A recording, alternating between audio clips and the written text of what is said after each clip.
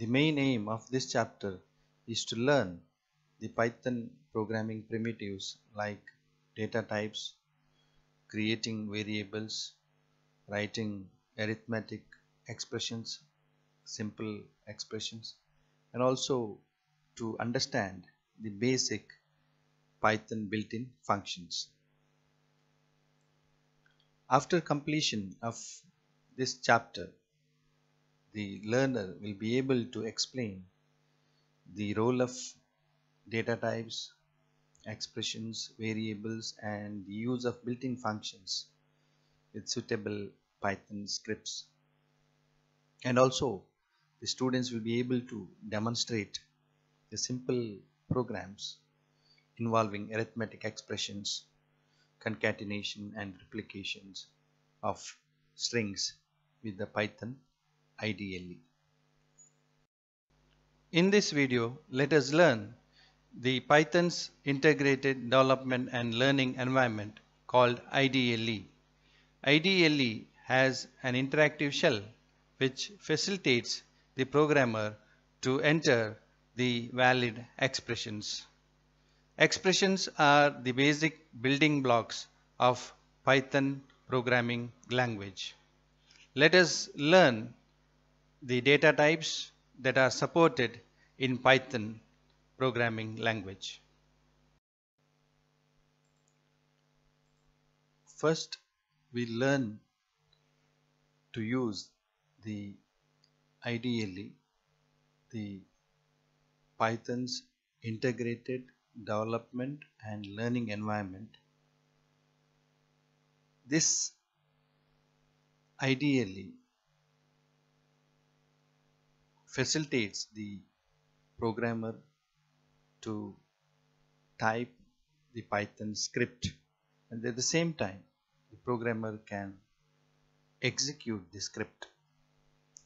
To use this IDLE on Windows, open the start menu and find select all programs and under the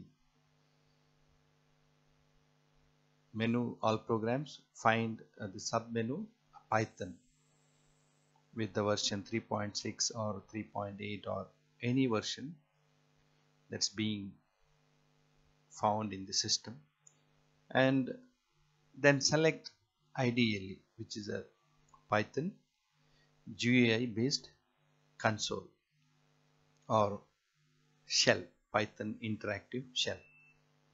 And once you choose this IDLE Python GUI a window will appear with three greater than symbols which is actually a Python interactive shell. Let's take an example of uh, writing a simple Python script, I mean an expression with the help of IDLE. So this portion represents the version of Python that is being uh, installed in the system and uh, the programmer can type the expression or any a valid Python script just after this three greater than symbols. This is actually a Python interactive shell prompt. And uh, after typing this expression you press enter you will get the result of that expression. Likewise we can write other expressions too even involving literals or variables. Let us have a demonstration of uh, IDLE to launch the IDLE open start menu locate the Python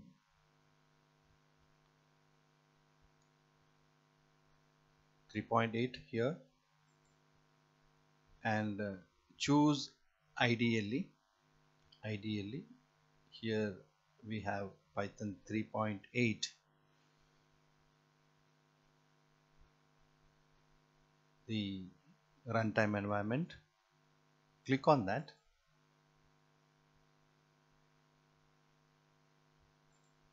we get Python 3.8 interactive shell. Now write the expression for example write 2 plus 2 we have a result 4 and you can even write the expression involving the assignments. Write a equal to 2 and you can display the value of a by just typing the variable name that is a. You can even write the complex arithmetic expressions like like this. 2 plus minus 2 or it's 0 it means 2 plus of minus 2 that's 0 let me define one more variable b. B equal to let us say 5 and you can write the expression involving the variables to a plus b which results in 7 you can also assign the expression to another variable like c is equal to a plus a plus b. And you can also print value of c this is how the beginner can use this IDLE to understand the Python primitives.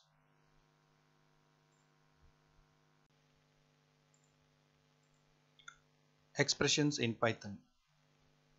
Expression is the basic programming instruction in different programming languages. Expression consists of literals or values such as to or a character and the operators such as plus, minus and so on and they always evaluate down to a single value. In Python we have six seven basic mathematical operators. First is exponent double star and we have a percent sign this is modulus operator this is double slash integer division the single slash division. This is floating point division. Star this is multiplication operator minus subtraction and plus addition. Let's take up the examples. 2 double star 3 is nothing but 2 to the power 3 that is evaluates down to 8 22 mod 8 we get remainder after integer division.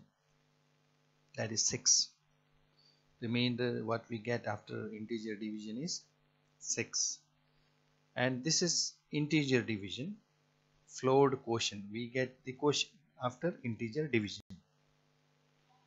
22 double slash 8 the quotient is 2 and this is floating point division we get the value 2.75 this is multiplication with results in 15 and 5 minus 2 that is 3 and addition with the results in value 4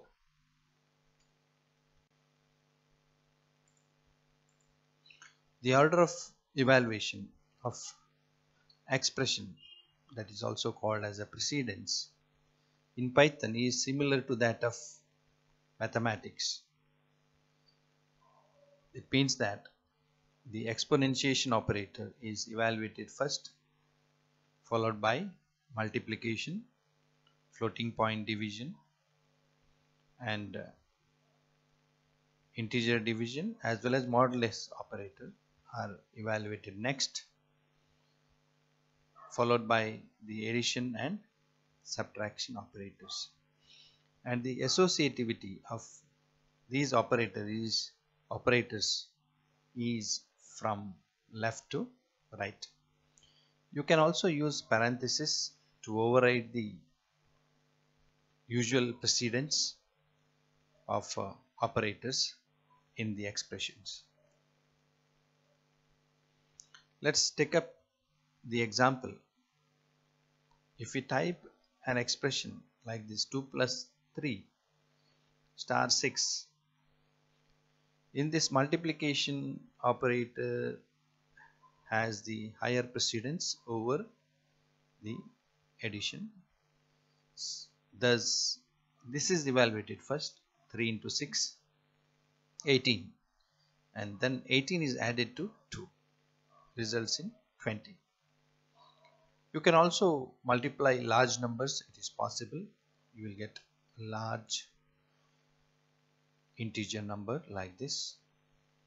And uh, programmer also can use the parenthesis to alter the usual precedence. And the evaluation order of this expression is first 7 plus 1 is evaluated innermost nested parenthesis 8 divided by 2 3 minus 1 is evaluated next. Second innermost parenthesis nested parenthesis. This is evaluated first followed by this 8 by 2 and then the outer parenthesis is evaluated. Expression enclosed within this parenthesis 8 by 2 that is 4 and then this expression is evaluated 5 minus 1 4 and this is multiplied.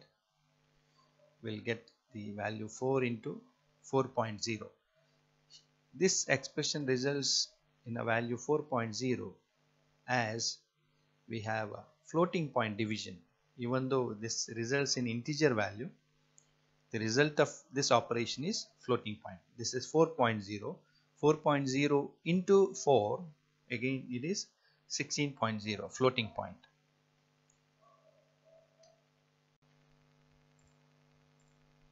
Data types. Data type is a category for values and every value belongs to exactly one data type. In python we have three common data types. First is integer, second floating point number, third is string.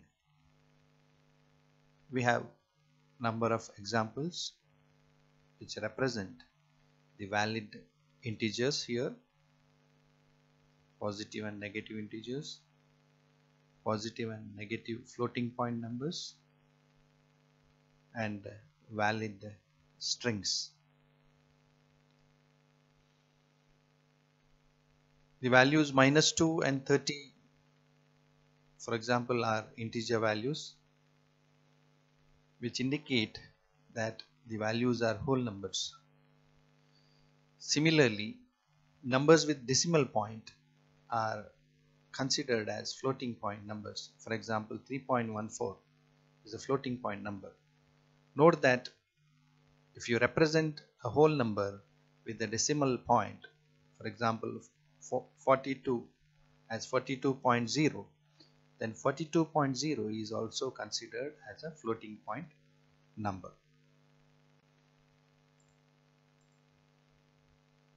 The programmers can also have text values called strings that is sequence of characters.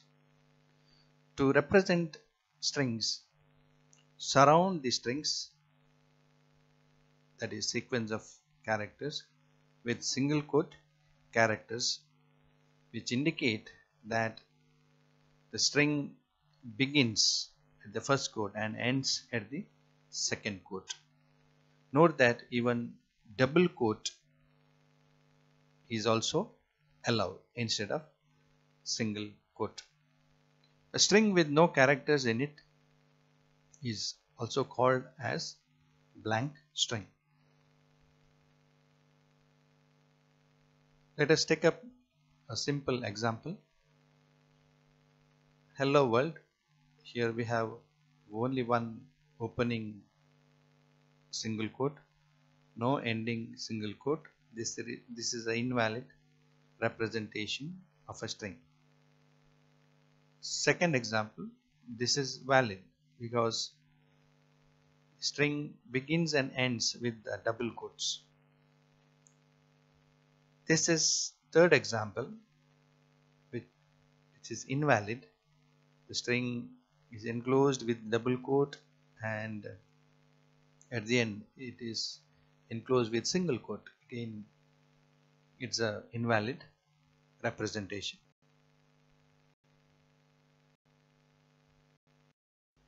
Let us summarize the discussion. The Python's integrated development and learning environment facilitates the programmer to write and execute simple Python scripts. The expression in Python consists of operators and operands and operands are of different types integer, floating point or even strings with the constants or literals.